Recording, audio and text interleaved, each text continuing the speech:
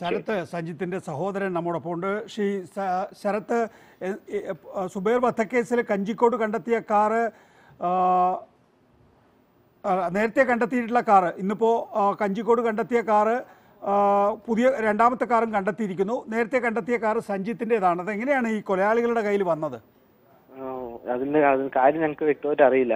സഞ്ജിത്ത് മരിക്കുന്നതിന് ഒന്നര മാസം മുമ്പ് ഈ കാറ് കംപ്ലൈന്റ് ആണെന്ന് പറഞ്ഞിട്ട് വർക്ക്ഷോപ്പിലായിരുന്നു ഏത് സഞ്ജിത് സഞ്ജിത്ത് അതിനുശേഷമാണ് കാറിൽ പോകാതെ ബൈക്ക് യൂസ് ചെയ്യുന്നത്. അവന്റെ വൈഫിന്റെ അച്ഛന്റെ ബൈക്ക് യൂസ് ചെയ്ത് കാറ് കംപ്ലൈന്റ് ആയതിനു ശേഷമായിരുന്നു. മരിച്ചതിന് ശേഷം ഞങ്ങളെ കാറിനെ കുറിച്ച് അന്വേഷിച്ചില്ല എന്നാൽ കാറ് ഇല്ല എന്നുള്ളതായിരുന്നു ഞങ്ങളുടെ ധാരണ.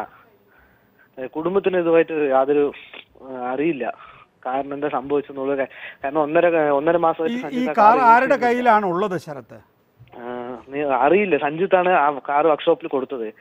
നിലവിൽ ആ കാറിന്റെ അവസ്ഥ എന്താണെന്നുള്ളത് അറിയില്ല. അത് സഞ്ജു മരണത്തിന് ശേഷം അതിന്റെ ഒരു ഡ്യൂവിന്റെ ബന്ധപ്പെട്ട് ഒരു ഒന്നര ലക്ഷം രൂപ അടയ്ക്കണം എന്നുള്ള രീതിക്ക് പറഞ്ഞിട്ടുണ്ടായിരുന്നു. പിന്നെ അതിനുശേഷം ഞങ്ങൾ ആ കാറിന്റെ കാര്യങ്ങളൊന്നും സംസാരിക്കുകയോ പിടിക്കുകയൊന്നും ചെയ്തിട്ടില്ല. ഡ്യൂസ് ഉണ്ടെന്ന് വെച്ചാൽ കാറിന്റെ ഒന്നര ലക്ഷം രൂപ തിരിച്ചടക്കാനുണ്ടായിരുന്നു അതുകൊണ്ട് നിങ്ങൾ വർക്ക്ഷോപ്പിൽ നിന്ന്. എടുത്തിട്ടില്ല. വർക്ക്ഷോപ്പിൽ ഏത് വർക്ക്ഷോപ്പിലാണെന്ന് പോലും അറിയില്ല. സഞ്ജിത്താണ് അത് വിട്ടത് വർക്ക്ഷോപ്പിലേക്ക്. അത് ഏത് വർക്ക്ഷോപ്പിലാണെന്ന് പോലും ഫാമിലിക്ക് അറിയില്ല. ആ കാർ പിന്നീട് ഈ പണം അടച്ച് വേറെ ആരെങ്കിലും കൊണ്ടുപോയ കാര്യം നിങ്ങൾ അന്വേഷിച്ചോ? ഇല്ല അത് നമുക്ക് സഞ്ജിത്ത് ഈ ഒന്നര മാസമായിട്ട് ഈ കാർ വർക്ക്ഷോപ്പിൽ വിട്ടിട്ടുണ്ട് കുറച്ച് പൈസ വേണമെന്നുള്ള രീതിക്ക് പറഞ്ഞിട്ടുണ്ടായിരുന്നു. പിന്നെ അതിനുശേഷം കാറിന്റെ കാര്യങ്ങൾ സംസാരിച്ചിട്ടില്ല. ഞാൻ ഇപ്പൊ ഇരുപത്തയ്യായിരം രൂപ എന്നുള്ളത് ഞങ്ങളുടെ ഫാമിലിനെ സംബന്ധിച്ചിടത്തോളം വളരെ വലിയൊരു തുകയാണ്. ആ സമയത്ത് ഞങ്ങൾ അവർക്ക് കൊടുക്കാനില്ലാത്തത് കൊണ്ട് എടുക്കാതിരുന്നതാണ്. ഇപ്പോൾ ഈ കാറ് കൊലയാളികൾ ഉപയോഗിച്ചു എന്ന് കാണുമ്പോൾ നിങ്ങൾ പരാതി കൊടുക്കണ്ടേ? കാരണം ആ കാറ് വേറെ ആരോ ദുരുപയോഗിച്ചു എന്നല്ലേ മനസ്സിലാക്കുന്നത്?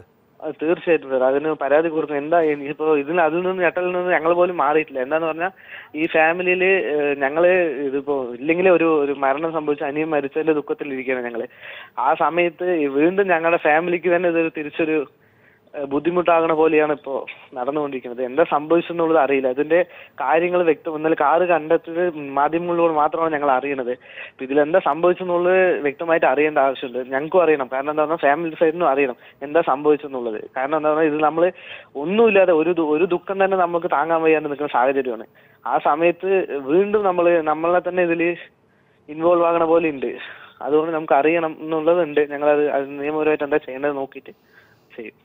ഇതിപ്പോ സഞ്ജിത്തിന്റെ കൊലപാതകത്തിനുള്ള തിരിച്ചടി എന്നുള്ള നിലയിലായിരിക്കാം ഒരുപക്ഷെ ഈ കൊലപാതകം ചെയ്തിട്ടുള്ളത്. അതിനുവേണ്ടി ആയിരിക്കാം സഞ്ജിത്തിന്റെ കാർ ഉപയോഗിച്ചത്.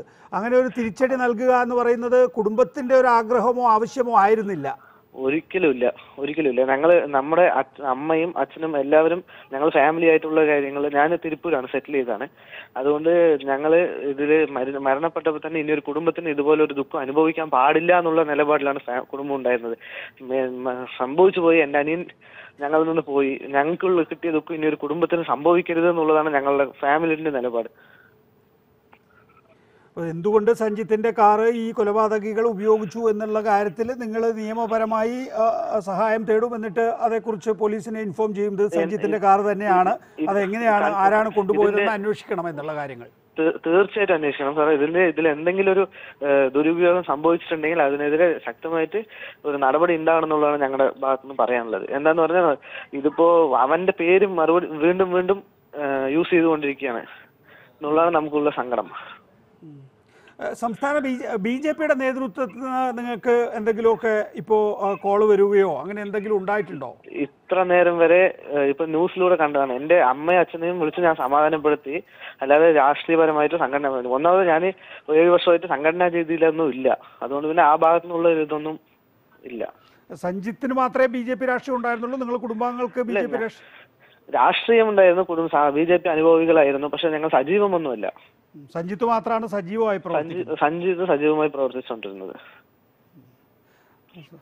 സഞ്ജിത്തിന്റെ കൊലപാതകത്തിന് മറുപടി കൊടുക്കണ്ടേ എന്ന് നിങ്ങൾ കുടുംബാംഗങ്ങളുമായിട്ടൊന്നും ബി ജെ പി സംസാരിച്ചിട്ടില്ല.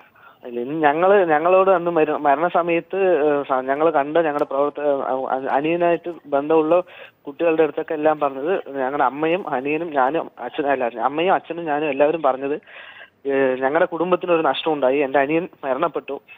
പക്ഷേ ഇനി ഒരു കുടുംബത്തിന് ഇത് നിങ്ങൾ തിരിച്ചടിക്കുക എന്നുള്ള രീതിക്ക് ഒരിക്കലും പോകരുത്. ഇനി ഒരു കുടുംബത്തിന് ഒരു നഷ്ടം ഉണ്ടാകരുത്. ഇത് ഈ ദുഃഖം തന്നെ ഞങ്ങൾക്ക് താങ്ങാൻ പറ്റില്ല. തിരിച്ച് അവരുടെ ഫാമിലിക്ക് അങ്ങനെ സംഭവിക്കുന്നുള്ള രീതിക്കാണ് ഞങ്ങൾ പറഞ്ഞത്. ഫാമിലി ഡിപ്പാർട്ട്മെന്റ് പറഞ്ഞത്. നിങ്ങളുടെ കുടുംബത്തിന് ഇപ്പോൾ ഭീഷണിയുണ്ടോ? നിലവിൽ നിലവിൽ ഞങ്ങളുടെ കുടുംബത്തിനായിട്ട് സഞ്ജിത്തിന് മാത്രമായിരുന്നു ഭീഷണി ഉണ്ടായിരുന്നത്. അതിനുശേഷം അമ്മയ്ക്ക് അമ്മയെ അമ്മയുമായി ബന്ധപ്പെട്ട് കുറച്ച് ഇതുണ്ടായിരുന്നു. എന്നല്ലാതെ വേറെ പ്രശ്നമൊന്നും ഉണ്ടായിരുന്നില്ല. കുടുംബത്തിനായിട്ടൊന്നും ഞങ്ങൾക്ക് ഞങ്ങൾ അത് എന്താ പറയുന്നത് വെച്ചാൽ ഞങ്ങളുടെ ഫാമിലി ഈ രാഷ്ട്രീയത്തിൽ അങ്ങനെ സജീവമല്ല. സഞ്ജിത്ത് മാത്രമാണ് ഉണ്ടായിരുന്നത്. അതുകൊണ്ട് തന്നെ സഞ്ജിത്ത് മരണപ്പെട്ടതിന് ശേഷം വലിയ പ്രശ്നങ്ങളൊന്നും ഉണ്ടായിരുന്നില്ല.